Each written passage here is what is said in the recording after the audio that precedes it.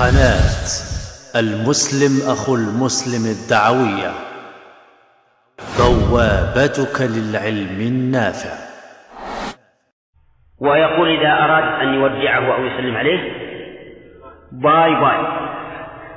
سبحان الله. تأتي بهذه اللغة البابوية وتترك السلام عليكم أو عليكم السلام. فضيحة عار. يعني لو أن لو لم تكن المسألة الشرعية لكان يجب أن تكون على الأقل قومية